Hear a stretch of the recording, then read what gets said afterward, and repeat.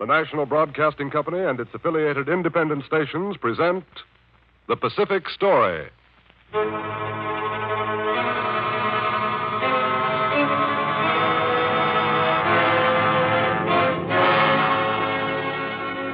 In the midst of the fury of world conflict, events in the Pacific are taking on ever greater importance. Here is the story of the Pacific and its peoples, whose destiny is at stake in the Pacific War. Here is the tale of the war in the Pacific and its meaning to us and to the generations to come.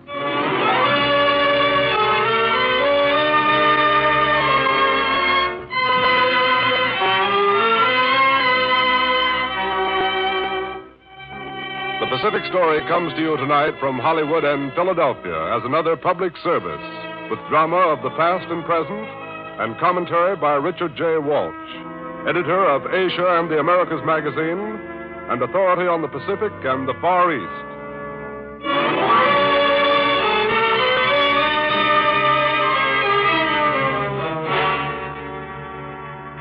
Nehru of India, the new man of the new world.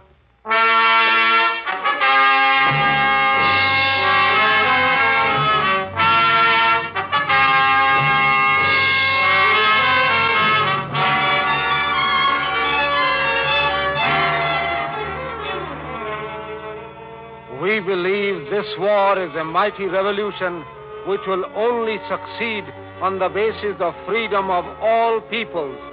Without India's freedom now, it will fail. This is a reason why India's freedom becomes an urgent and immediate necessity and cannot be postponed. This was the last free utterance of Jawaharlal Nehru. He wrote it for a Chinese newspaperman in Bombay on August 8, 1942. He was speaking for the more than 800 million people of China and India, nearly one third of the world's population. The next day, All right, you there. Get back there. Get back. Hold it. Hold back that line there. They're rushing us, the whole mob of them. Must be a thousand. Don't let them through. Back there, you. Back. Come on now. Back. Throwing stones and vegetables. Stop there. Look, Ah. they've arrested Maulana Abul Kalam Azad. Yes. And there's Nehru. They've taken him, too. Get back to that line Yes, now. they're marching Nehru off. This is the ninth time Nehru has been taken to jail. Only twice has he been out of jail for more than a year at a time. What are they doing there? They're taking the records, the documents of the Congress Party. Stop that pushing. Get back there. Back. They're taking Nehru. They're taking Nehru. Hold him. Hold him. Hold him. Hey. Hey, they took 200 of us that day in August 1942. We have been in jail ever since. I sit watching Jawaharlal Nehru. Pandit Nehru, all India calls him. Pandit, great scholar, but he is more than that. He is a great human soul. I watch him as he sits silently spinning. I watch him as he reads. I listen to his wisdom. Peace is indivisible, and so is freedom. There can be no enduring equilibrium unless freedom spans the world.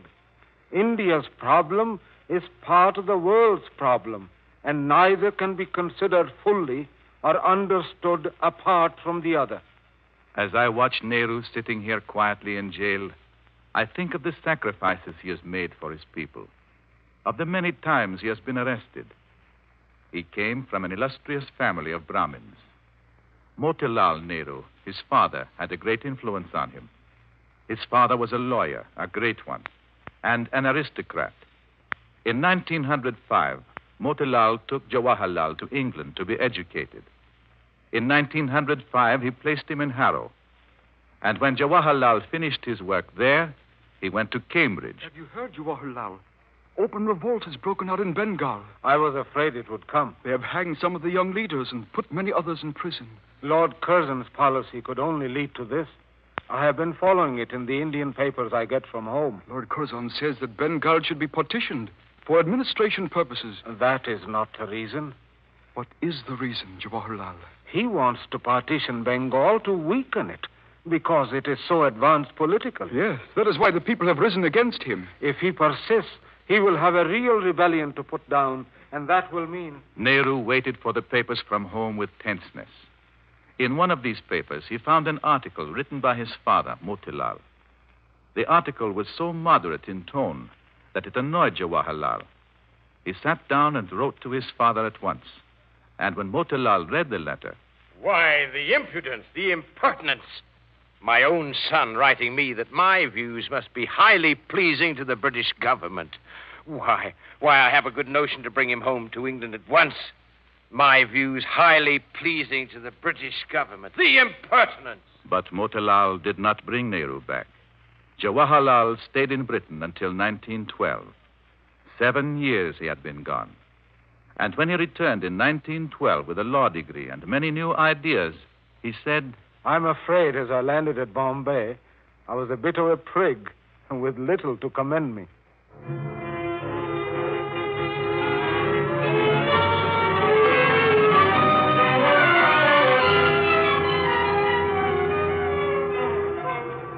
Nehru saw things in India with clearer eyes. Tilak, the great leader before Gandhi, and Annie Besant, the dynamic Irish woman, started the Home Rule League to get home rule for India. And Nehru threw himself into the movement with all his soul. He listened to Sarojini Naidu, our great poetess, and was fired with the spirit of nationalism. In him now was a growing desire to take an aggressive part in public work. He carried on his law practice with less and less enthusiasm.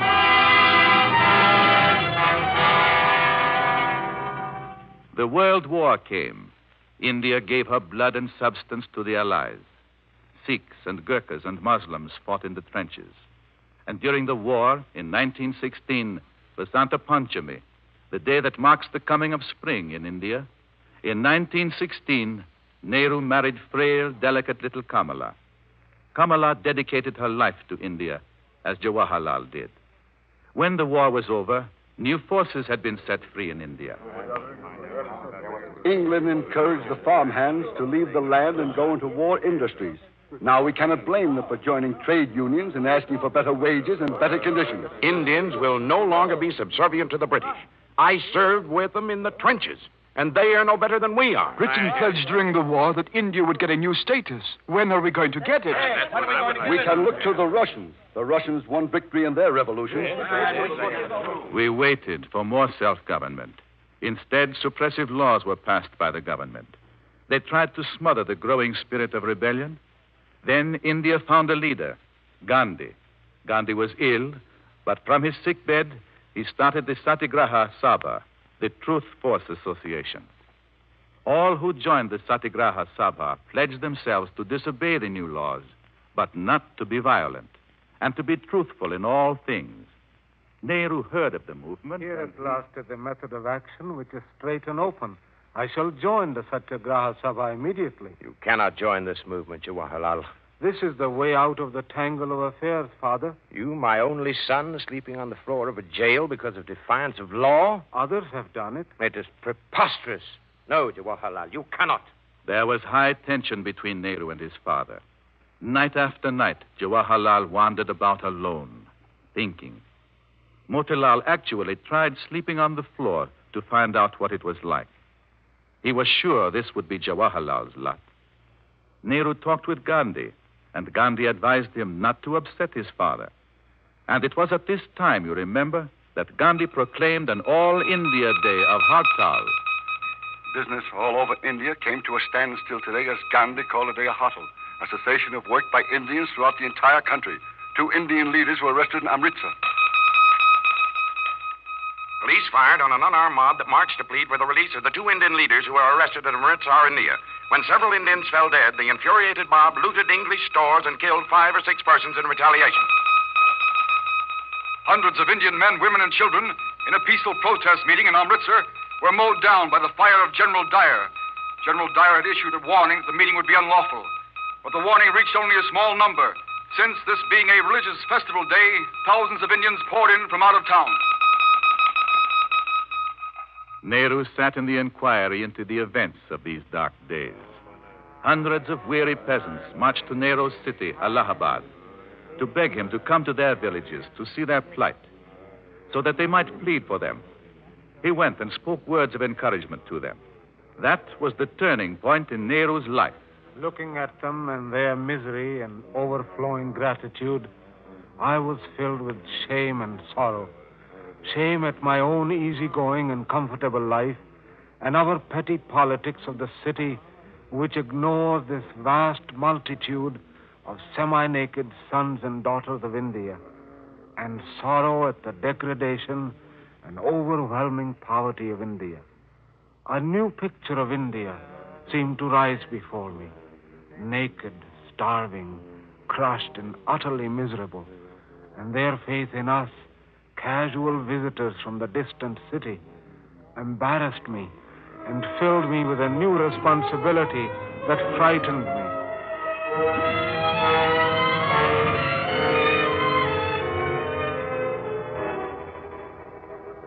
Now, in 1921, Nehru's sympathies were with Gandhi. In 1921, the Prince of Wales came to India. We regarded his visit with suspicion.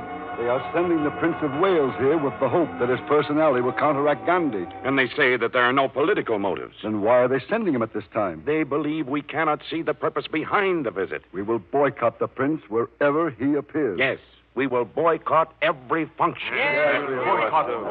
We formed the Congress Volunteers to boycott the Prince of Wales. And when the government declared the volunteers illegal, Nehru's father took up the challenge, and Jawaharlal followed. They were both arrested and jailed. So, Father, we are in prison together. You should not be here, Jawaharlal. Under the law, you have committed no offense. No law could protect us, Father. You know, I feel a certain honor in being here, and a freedom within these walls that I have never known outside them.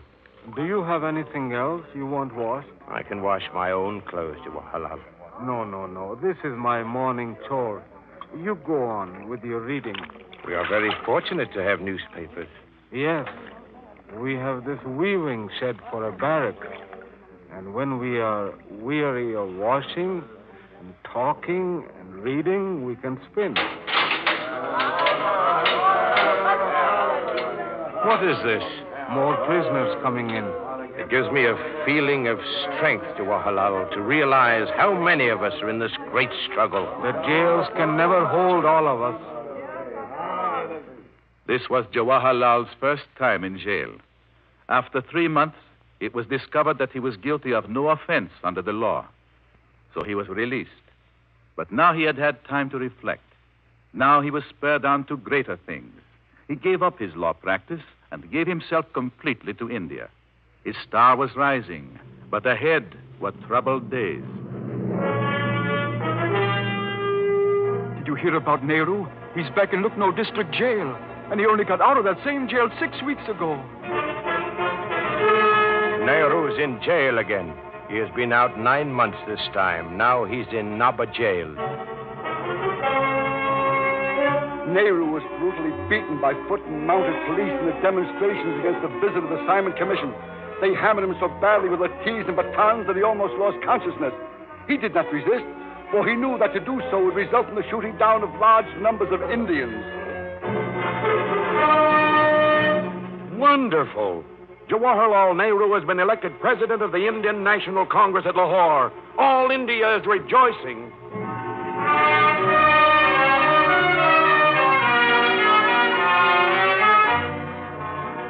Nehru was just 40 when he was elected president of the Indian National Congress.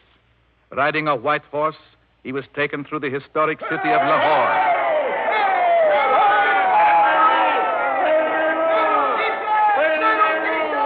What a great honor for your son, Motilal. And what a great responsibility. I am overjoyed that my son should occupy the same place a year after me. Look at the multitude showing their affection on him. Our movement is now entering a more serious and earnest phase than ever before. There could be no better one than Jawaharlal to head it. Nehru! Nehru!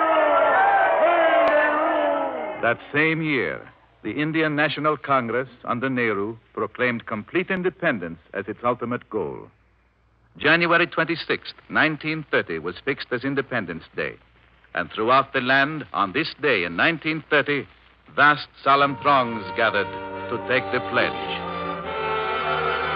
We believe that it is the inalienable right of the Indian people, as of any other people, to have freedom and to enjoy the fruits of their toil and to have necessities of life so that they may have full opportunities of growth. We believe also that if any government deprives the people of these rights and oppresses them, the people have a further right to alter it or abolish it. We believe, therefore, that India must sever British connections and attain Purna Swaraj or complete independence. We hold it a crime against man and God to submit any longer to a rule which has caused this disaster to our country. I remember Jawaharlal in those stirring days. Less than four months after the Indian Declaration of Independence, he was jailed again under the SALT Act.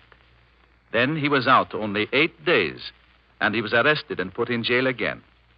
Two months later, his beloved Kamala was jailed too. She went to jail singing. I am happy beyond measure and proud to follow in the footsteps of my husband. And now sorrow came. Nehru's father, Motilal, died. Jawaharlal was released, but soon he was jailed again. He was in jail when Kamala fell ill in 1934. He was allowed 11 days to visit her. We have been married 18 years, Kamala. What happiness we've had. Our life together is just beginning. Jawaharlal, you are so brave. Then the police came and took him back to jail. Kamala grew worse, and Jawaharlal was brought back to her. She lay there wistfully, struggling feebly with her illness. Bend down here, Jawaharlal. My Kamala. What is this about you giving assurance to the government? Assurance? They told you they would release you to attend me if you would give assurance that you would keep away from politics. How did you know, Kamala? Do not give it, Jawaharlal. Go back to jail. He went back to jail, and at last in September 1935, he was released. He went straight to her at Badenweiler, Germany. He took her to Lausanne. All India waited anxiously. Is there any word of Kamala? This morning they said her condition was improving. Good. What happiness that Jawaharlal and Kamala are at last together again. Oh, here. Here is a new bulletin being put up. What does it say? Kamala's condition is critical. My heart goes out to them in this hour. Here is another dispatch. Kamala is dead. Oh, God.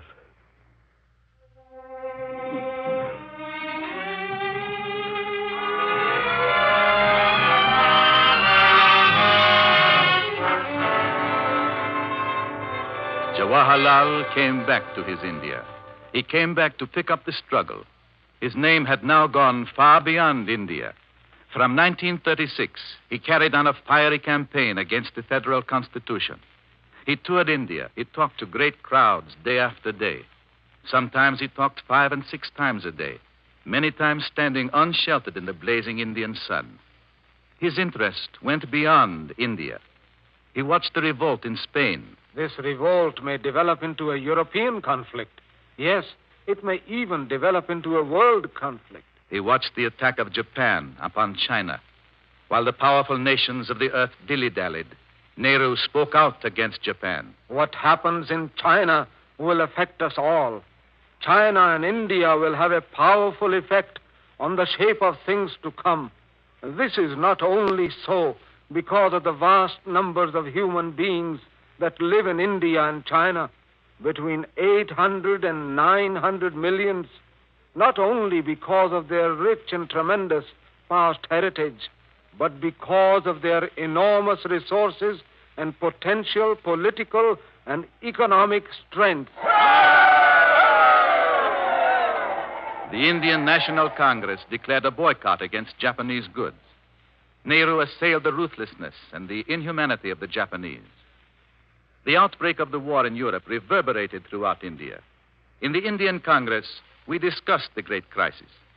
If the war is to defend the status quo, the colonies, imperialist possessions, vested interests, and privileges, then we Indians want nothing to do with it. Right. But if the issue is a world based on democracy, then I say India should throw her weight on the side of democracy. Yes, but we should ask the British government to declare its war aims in regard to democracy and imperialism, and how these aims will apply to India. But the government refused to define its war aims. Nehru fought on, and in the great Bombay demonstration of August 1942, he was arrested again. Now, for months, I have watched him here in imprisonment. Sometimes he reads, sometimes he spins. And when he talks, we all listen. Attempts will be made by the British government to come to terms with Indian nationalism. But these will fail unless they recognize there is no halfway house to Indian freedom. If we are to have international cooperation, as we must, it must be on a world scale. India cannot, under any circumstances, consent to stay within the British Empire. India must be a free and independent nation.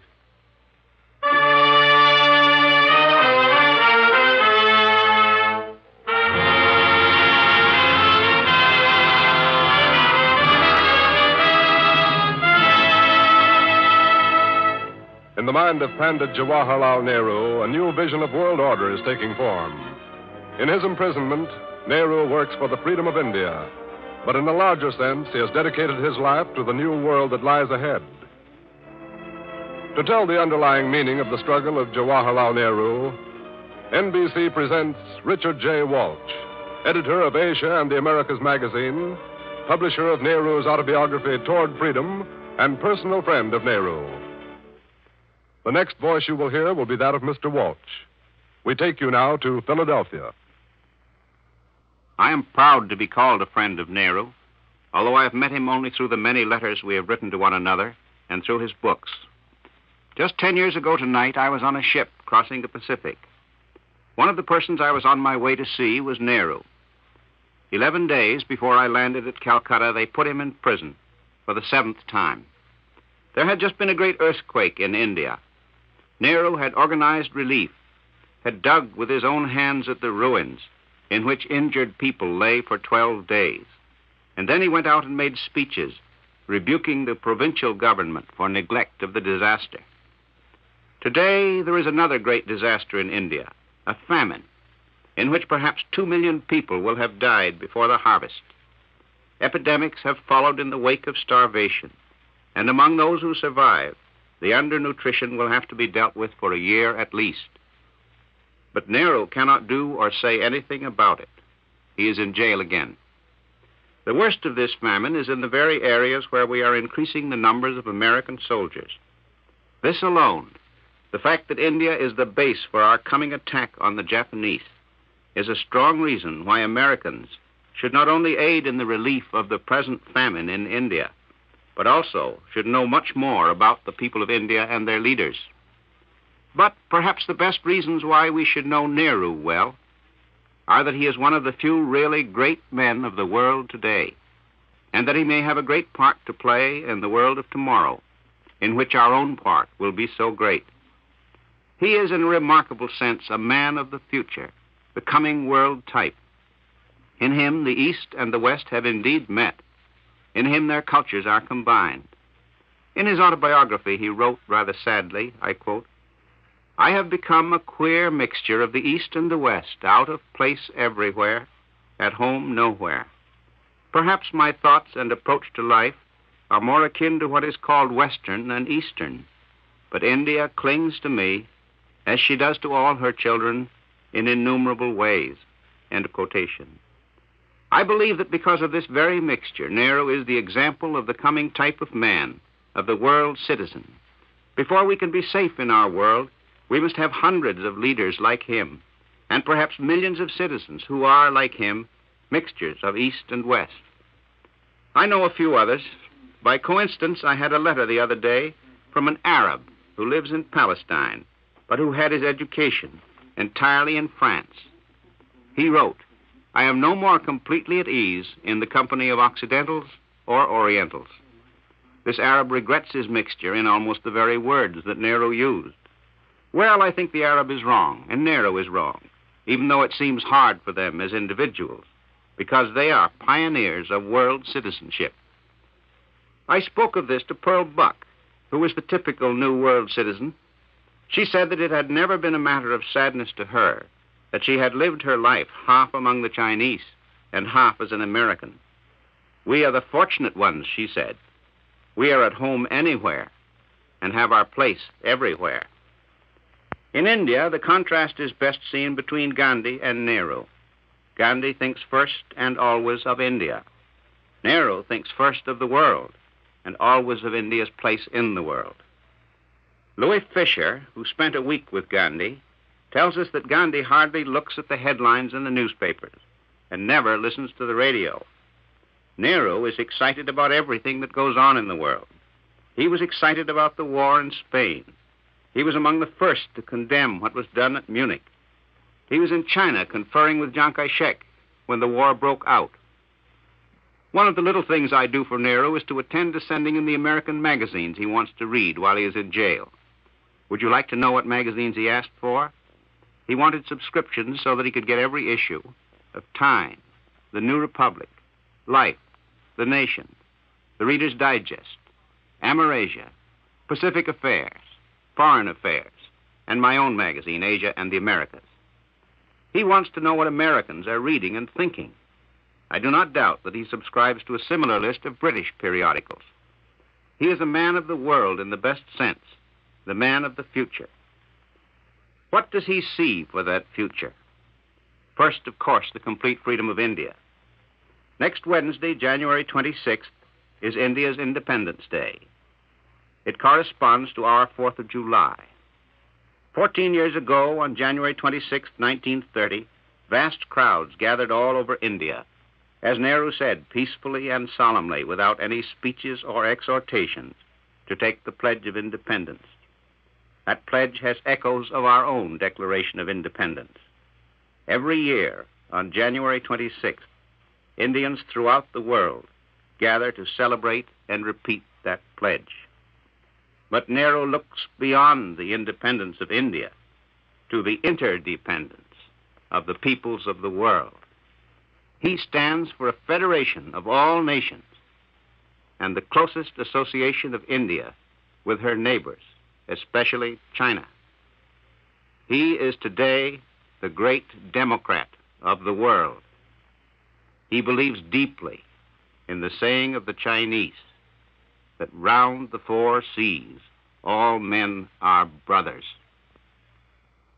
Thank you, Richard J. Walsh.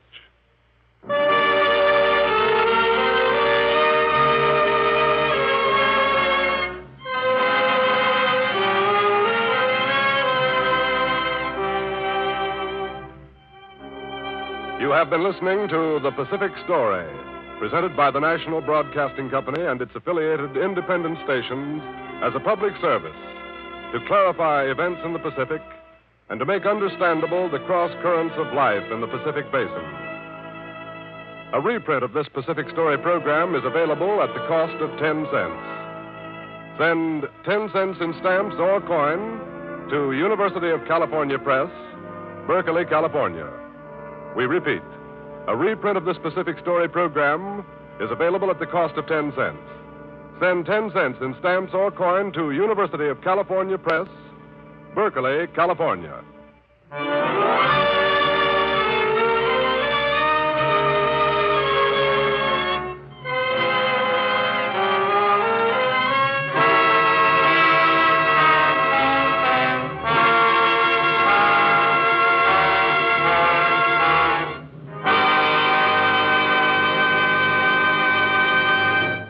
Pacific Story is written and directed by Arnold Marquis.